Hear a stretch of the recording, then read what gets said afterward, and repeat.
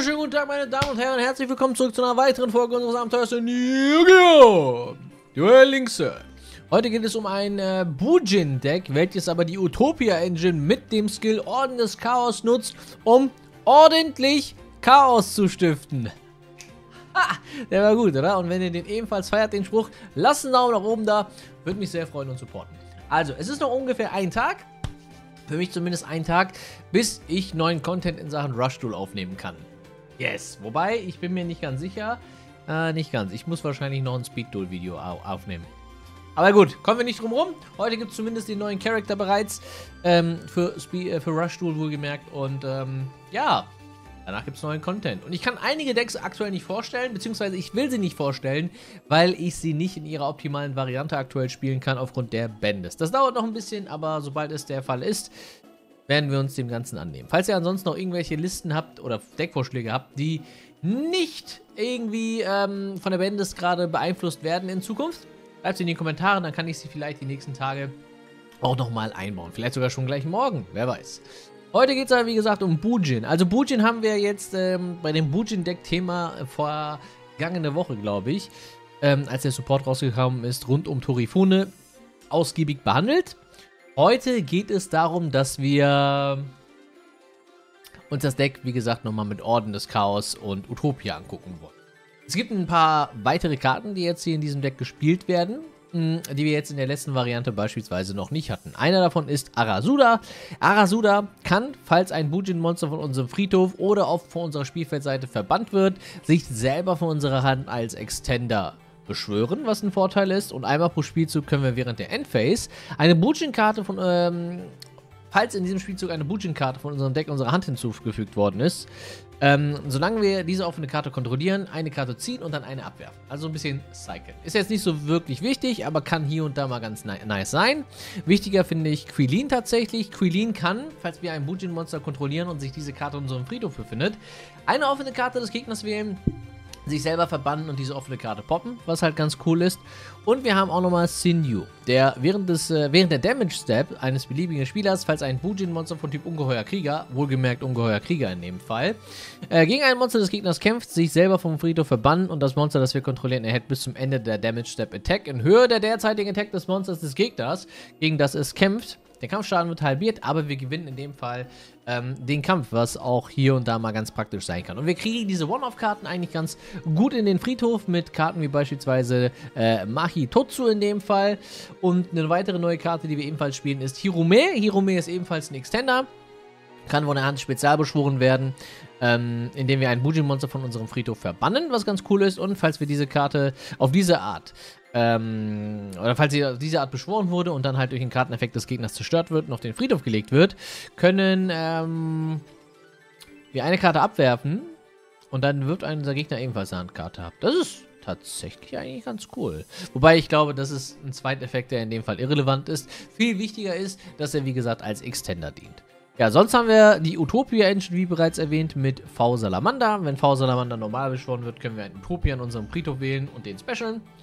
Wir haben den Skill Orden des Chaos, was auch nochmal eine Erwähnung wert ist. Orden des Chaos sorgt nämlich dafür, dass wir ähm, einen V-Salamander unserer Hand vorzeigen können. Wir fügen dann unserer, äh, unserem Friedhof ein V-Utopia von außerhalb unseres Decks zu, was ganz cool ist. So dass dann halt äh, hier V-Salamanders Effekt gleich live ist. Das ist auf jeden Fall ein ganz netter Vorteil. Und wir können bis zu zwei Karten, wohlgemerkt bis zu zwei Karten von unserer Hand äh, oder unserer Monsterzone unser Deck zurücklegen. Und falls wir, äh, falls sich keine Monster auf unserer Spielfeldseite befinden, können wir in diesem Spielzug eine weitere Karte normal beschwören. Der Effekt ist tatsächlich ganz cool, um, ähm, um Backrow rumzuspielen. Ne? Also wenn zum Beispiel jetzt unsere Ujin Engine in dem Fall scheitert, können wir halt einfach den Skill nutzen, das Feld clearen, wenn wir V-Salamander auf der Hand haben, um dann halt trotzdem mit V-Salamander nochmal irgendwas krasses zu beschwören. Also relativ viele Möglichkeiten, die wir mit dem Deck haben. Äh, viele Leute haben gesagt, dass das die äh, beste Bujin-Variante aktuell ist. Ich weiß nicht, ob ich dem Ganzen zustimmen kann. Wir werden das Ganze äh, jetzt gleich sehen, denke ich. Deswegen probieren wir das Ganze doch mal aus. Ich habe auf jeden Fall Lust auf ein bisschen nices Gameplay jetzt noch, bevor der Balance-Patch schüttet. Und dann schauen wir mal. Ich könnte auch mal wieder ein Anfängervideo machen, ne? Für November. Mhm. Aber eigentlich sollte ich mit dem Anfängervideo auch noch mal warten, äh, bis jetzt das Wobei, warten. Ich mache ja normalerweise auch eins für Rushstuhl. Mache ich eins für Rushstuhl extern nochmal, wegen der Box? Ach, ich weiß es nicht. Fragen über Fragen. Auf jeden Fall können wir erstmal starten mit Tönki. Und äh, wir fügen unsere Hand einmal Torifune hinzu. Ja, dann würde ich an sich sagen, wir müssen ja nicht irgendwie um Backrow oder so rumspielen, ne? Hm. Was ist es, worauf ich jetzt gerade Lust habe? Was ist es, worauf ich gerade Lust habe? Ich überlege gerade. Wenn das nämlich tatsächlich jetzt ein Time Lord Deck ist, müsste ich unter Umständen eher auf V-Salamander gehen als Starter, als auf die Bujin Engine. Ich kann wohlgemerkt nicht beides machen, ne? Das ist äh, ein klein wenig schade. Moment.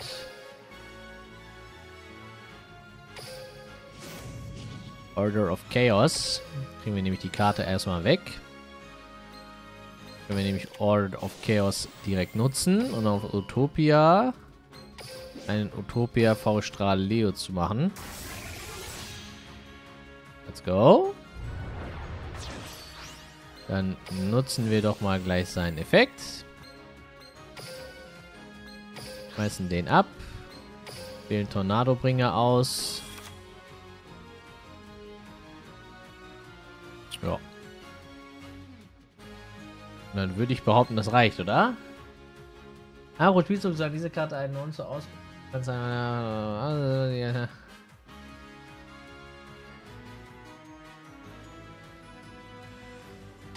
Warten wir mal ab.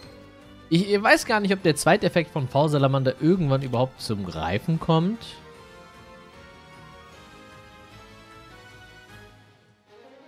Mal spielen sollen diese Karten eine. Achso, ich muss Utopia Strahl V damit auswählen. Ja, es ist ganz nebenbei ein Time Lord Deck. Also jetzt gerade hätte ich tatsächlich gerne mal gegen Jubel gespielt. Ja. Und eventuell nicht gegen Time Lord.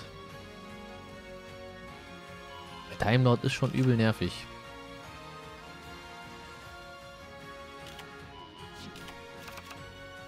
Time Lord ist schon übel nervig. Verbotener Kelch. Äh, okay. Auf V Salamander. Ja, ich kann halt nicht getargetet werden, ne? Ist halt der Vorteil gerade. Äh.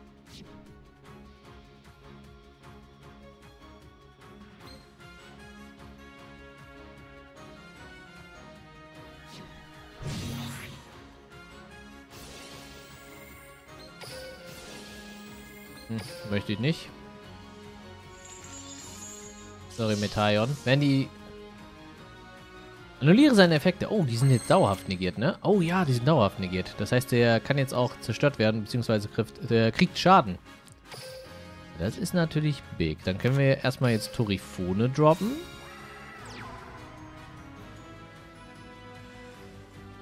Das ist big! Rupia Strahl.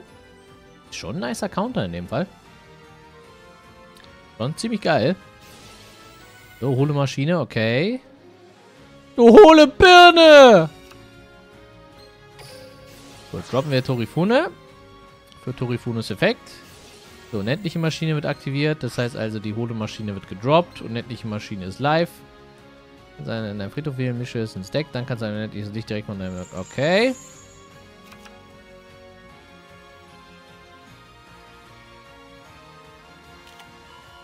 Wie war das jetzt mit denen? Die Karte kann nicht durch Karteneffekte eines Gegners zerstört werden. Kein Spieler kann Herr der Zeitmonster, die du kontrollierst, als Ziel für Karteneffekte wählen oder Herr der Zeitmonster vom Spielfeld ins Deck zurücklegen. Okay. Okay, das heißt, ich müsste, wenn es geht, jetzt schon gewinnen. Ich habe ja Kranich, ne? Die Attack eines Monsters werden nur während der Schadensberechnung doppelten. Das heißt, ich kann jetzt eigentlich versuchen, in dieser Runde bereits zu gewinnen. Ne, wir kamen dafür die Schildkröte. Und Mohitotsu.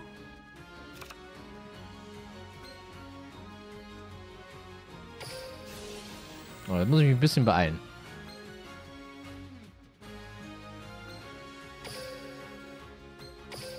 Vanish him. Drop him.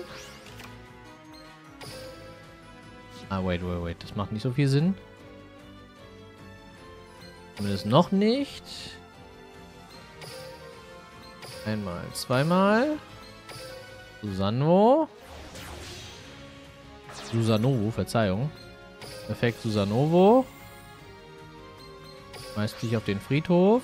Search. Meinetwegen. Iruko.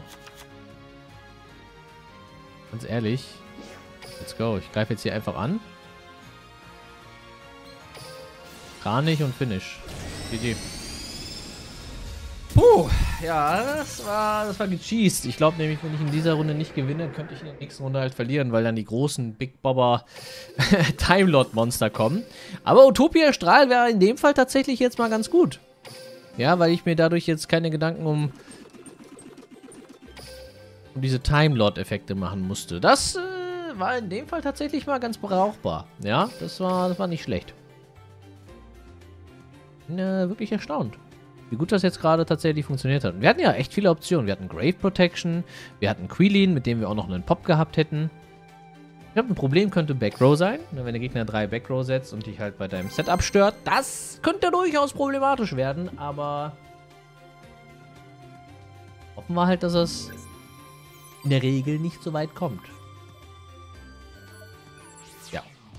Hoffen wir, wie gesagt, dass es normalerweise nicht so weit kommt. Wahres könnte Rocket sein. Und dann können wir jetzt mal den Härtetest gegen ein krasses Backrow-Deck machen. Mit viel Interruption. Ja, da können wir jetzt mal wirklich probieren, inwiefern das funktioniert. Und wir starten mit Eccentric. Das ist, das ist gut. Das ist sehr, sehr, sehr gut.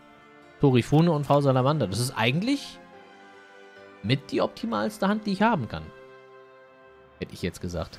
Ich finde persönlich tatsächlich mit äh, Mahitotsu könnte ich mehr rausholen, denke ich. Und ja, du kannst einen dieser Effekte aktivieren. Also man kann nur einen Effekt aktivieren.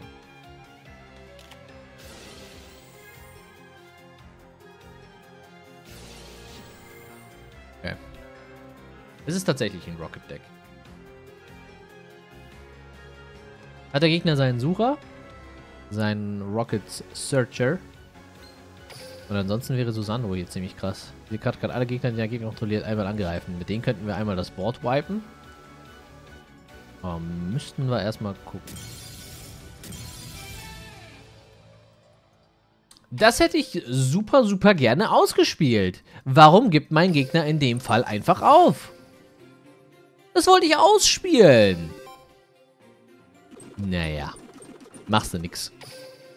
Vielleicht hatte der Gegner auch einfach keine Zeit gerade. Weiß ich nicht. Aber kann ja alles Mögliche sein. Stellt euch mal vor, eure Mutter kommt jetzt ins Zimmer. Ihr wohnt zu Hause. Eure Mutter kommt ins Zimmer und will jetzt Staubsaugen. Ihr könnt euch wirklich nicht konzentrieren, weil ihr auch gut performen wollt, weil ihr gegen Reggie auf Duel Links spielt, ja? Kann ich vorstellen, dass man aus Frust, ja, einfach mal auf den X-Button drückt, ja? Kann ich mir richtig, richtig, richtig gut vorstellen. Aber ja, wenn du siegst, wirst du einen Rang aufsteigen. Let's go! Let's go! Sinew, Mahitotsu, verbotene Lanze. Machen wir so. Machen wir so. Vor allen Dingen die verbotene Lanze, die hat es mir jetzt hier doch gerade einen kleinen Wang angetan. So. Dunkler magischer Kreis. Das ist ein Dark Magician Deck. So, wir haben die Lanze. Ne? Mit Lanze fühle ich mich gut. Mit Markus Lanze. So, ja doch, doch, doch. Mit Markus Lanze fühle ich mich sehr, sehr, sehr gut. So, da ist der Dark Magician. Okay, hat der Gegner jetzt noch seine ähm, Beschwörungskarten. Das ist ja Oldschool Dark Magician, weil er ja nicht den äh, Skill mit dem Stab spielt. Set 1, Set 2. Okay, es ist Oldschool Dark Magician. Und den Dark Magician natürlich auf der Hand. Es ist lustig. Oldschool Dark Magician. So, Bujin Arasuda. Okay. Ähm, wir haben jetzt eine Menge Möglichkeiten, was ich ziemlich cool finde. Erstmal starten wir mit Feuerformation Tanky.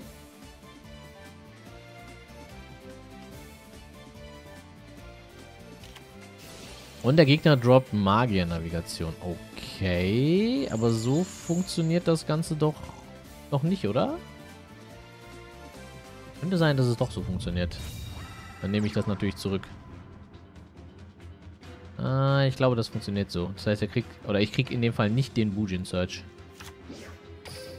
Ah doch, ich krieg den Bujin Search. Ich wollte schon sagen, das funktioniert doch so mit Circle nicht. Ja. Jetzt kannst du was verbannen. Willst du meinen Tanky verbannen? Nein, will er nicht. Okay. Dann drop ich jetzt... Was ist denn jetzt gerade aktivierbar? Warum ist mein Skill aktivierbar? Lege zu zwei Karten von deiner Hand. Ja, falls sich keine auf deine... Ja, dann kannst du in diesem Spielzug zusätzlich... Ja, das Blöde ist halt, dass V-Salamander, wie gesagt, nicht gesucht werden kann. Muss man halt random auf der Hand haben. Das ist ein bisschen schade. Aber wir haben ja jetzt super, super viele Möglichkeiten. Tatsächlich. Ich kann ja jetzt Torifune einfach abschmeißen. Ich habe super viele Möglichkeiten. Ich kann jetzt auch einfach OTKen. Ich kann dieses Board doch eigentlich super entspannt jetzt OTKen. Ne, ich habe hier... Ich habe die Möglichkeiten, ja, Tatsache. Guck nochmal, ich habe die Schildkröte. Den Kranich search ich mir gleich. Und ich habe nochmal Mahitotsu.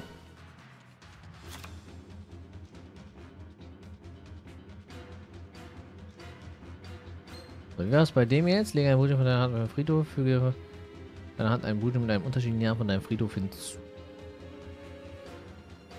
Wann ein Bujin-Monster von deinem Friedhof, lege ein Bujin mit unterschiedlichen Jahren von deinem Deck auf den Friedhof.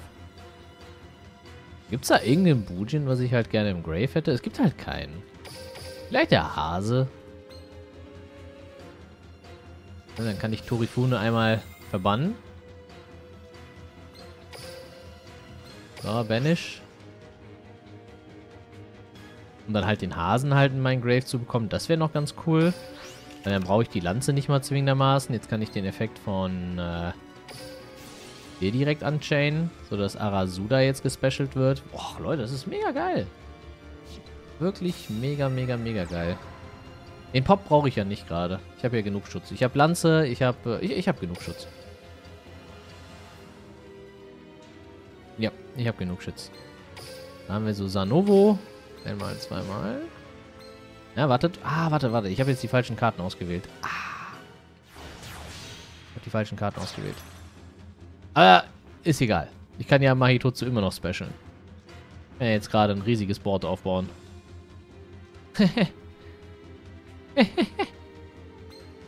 Na, guck mal. Ich kann Susanomo jetzt droppen. Effekt von deaktivieren. Und ich hole mir den Kranich. Äh, du kannst ja gerade mal, nur während der Schadensberechnung zum... Ah, okay, es wird nur während der Schadensberechnung zum Doppelten.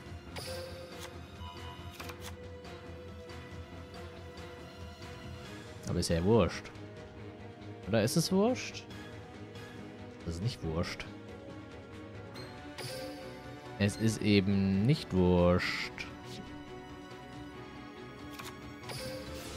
Na, na, wobei ich ja auch noch Sinew habe. Ja, doch, doch, doch, doch. Wir können ja auf jeden Fall mit Susanovo OTK. Oh, gut, Leute, alles gut. Ja. Alles gut. Alles ist gut. Tippitoppi.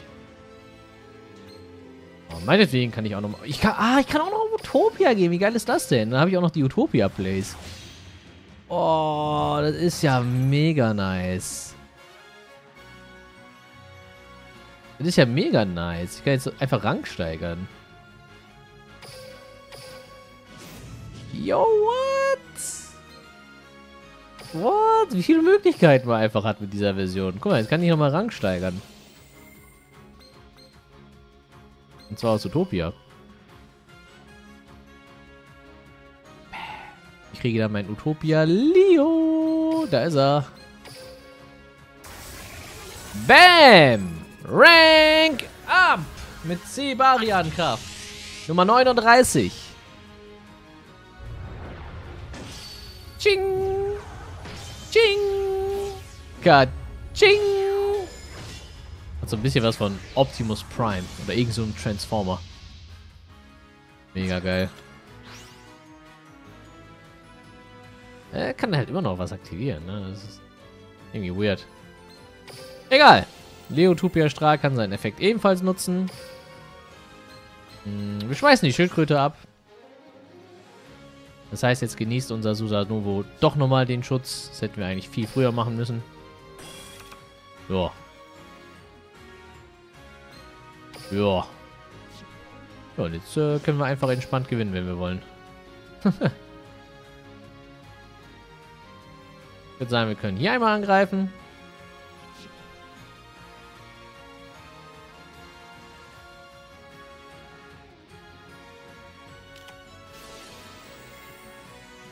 Geheimnis der dunklen Magie. Okay. Ähm, umso besser.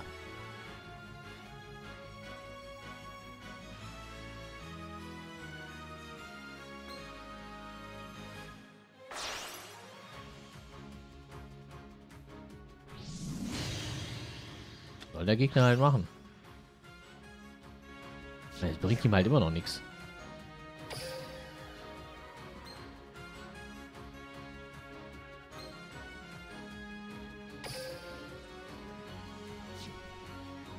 so viele Möglichkeiten, Mann.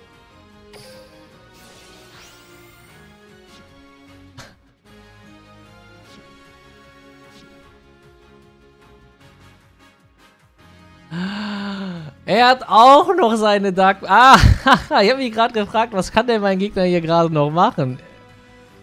Jetzt hat's Klick gemacht. Apprentice Illusion Magician, aber bringt ihm halt nichts. Bringt ihm halt wirklich nichts. Genau, Utopia Strahl, dann können wir die Angriffspunkte von dir halbieren. Und dann greifen wir hier an und finishen einfach. Hammer. Also wirklich, richtig, richtig geil. Video well played. Ah, Dudes! Bujin Utopia, Leute. Bujin Utopia. Also es war ähm, nicht 100% optimal gespielt. Ja, ich äh, hätte gerade was die Protection und so weiter angeht, ein bisschen eher die Monster auf den Friedhof äh, schmeißen können. Ne? Aber ist doch ganz gut. Und auch nochmal zu zeigen, was dieses Deck eigentlich so alles kann. Das, äh, darauf möchte ich auch nochmal hinaus, Leute. Ja, ich habe ähm, gestern, äh, vorgestern einen Kommentar bekommen. Ist jetzt nicht böse oder so, keine Sorge. Also, ich habe es nicht böse aufgefasst. Jemand hat gesagt, äh, es wäre besser, wenn du Deck vorher nochmal ausgiebig spielst, weil ähm, du willst ja mit Leuten mit deinem Video dann auch helfen. Da habe ich mir gedacht, wann habe ich denn jemals gesagt, dass ich Leuten mit den Videos helfe? Ich bin hier in erster Linie, weil ich einfach irgendwelche Decks präsentiere zu Unterhaltungszwecken. Ja, es ist wirklich in dem Fall lediglich Unterhaltung. Ja, ich bin kein Pro. Ich will jetzt hier keinen Leuten irgendwelche Gameplay-Tipps geben, ja. Wo ich euch Tipps geben kann, ist tatsächlich, ähm, wie man vielleicht seine Gems investiert und was gerade so ein Vorteil ist, etc. Also generell, wie man vielleicht wirtschaftet in Duel Links. Da äh, sehe ich mich. Okay, das könnte was für mich sein. Aber alles andere, ne? Juckt doch nicht. Ne? Also, also mich zumindest juckt es doch nicht. Ist nicht böse gemeint oder so. Ne? Also ich habe das jetzt auch nicht böse aufgefasst oder so. Aber ich bin hier kein Lehrkanal. Ja, hier, bei mir bekommt ihr jetzt nicht irgendwelche insanen Gameplays von irgendeinem Pro. Deswegen sage ich ja immer. Es, es, gibt ja diverse Decks. Und das sind dann meistens die Decks, wo man halt, wie gesagt, diese High Skill Cap hat. Wann habt ihr mich zum letzten Synchrons? Ja, Synchrons sage ich schon. Ähm, Christrons machen sehen. Ja, obwohl ich schon tausendmal vorhatte, aber nicht gemacht habe. Wann habt ihr mich zuletzt ähm, Metal Foes machen sehen? Obwohl ich es auch tausendmal vorhatte, aber nicht gemacht habe. Habe ich halt nicht. Ja, da äh, fehlt mir halt tatsächlich auch einfach so ein bisschen die Zeit für. Ne? Also die Zeit ist äh, in dem Fall dann halt das Hauptproblem. Wenn ich da ein bisschen mehr Zeit hätte, würde ich selbstverständlich auch ein bisschen mehr Zeit rein investieren. Hier und da, wenn es geht, probiere ich tatsächlich trotzdem irgendwie dann nochmal ein bisschen was äh, rauszuholen. Aber es geht halt leider nicht immer. Und ich bitte das zu entschuldigen. Ja, geht halt nicht immer. Ich weiß, aber... Ja. Ich bin auf jeden Fall kein Lehrkanal. Das ist so das, was ich euch einfach nur sagen möchte. Ähm, so, Verband Einmutung. Okay, pass auf. Wir können den zweiten Effekt von Mahitotsu nochmal nutzen. Wir verbannen Mahitotsu. Und ich kann... Ja, was will ich denn eigentlich im Grave haben? Gibt es irgendetwas, wo es Sinn macht würde, das im Grave zu haben? Also nicht, dass ich wüsste. Vielleicht Quidin am ehesten noch. Ne? Weil ich wollte jetzt hier auf äh, Abyss Dweller gehen, weil das kriege ich noch irgendwie hin mit Turn 1. Ansonsten ja, habe ich mit der Hand jetzt nicht so viele Auswahlmöglichkeiten. Ich habe Negate. Ich habe äh, den Dweller.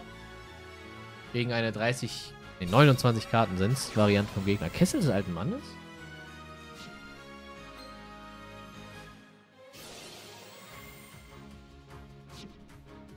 Okay, ist das ein Stall-Deck?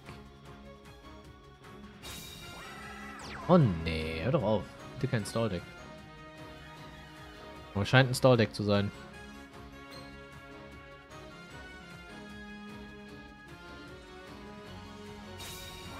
Ja, scheint ein Stall-Deck zu sein. Uh, da überlege ich jetzt. Also wir haben unsere Erznerwettlerin Exzentrik. Das ist doch schon mal etwas. Ich kann hier einen Effekt aktivieren und zumindest die Backdoor-Karte loszuwerden. Okay, ich habe einen Bujin Kranich. Wir pushen Lethal. Das ist äh, unser Hauptziel. Dann kann ich nochmal den Effekt von Dueller aktivieren. Präventiv wohlgemerkt. Da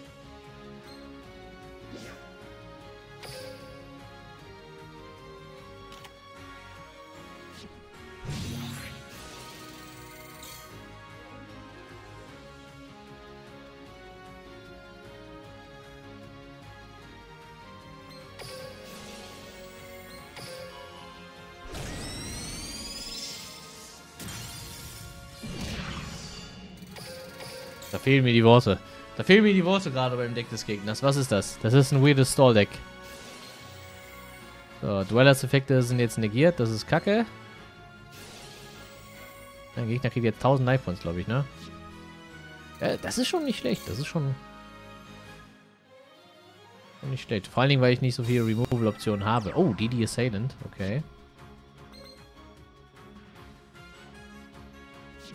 Ist hier der Plan? Was ist hier der Plan vom DD Assailant? Äh, okay.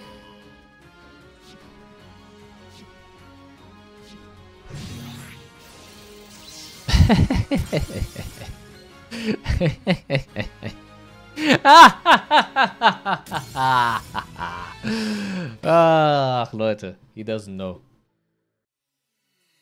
Okay, das Deck muss ich mir aber jetzt auf jeden Fall einmal angucken, weil ich will jetzt gerade wissen, gegen was ich da überhaupt gespielt habe. Okay, das interessiert mich gerade. Gegen was habe ich da jetzt zum Teufel nochmal gespielt? Das kann doch kein normales Deck gewesen sein. Das ist irgendeine dämonische, ja?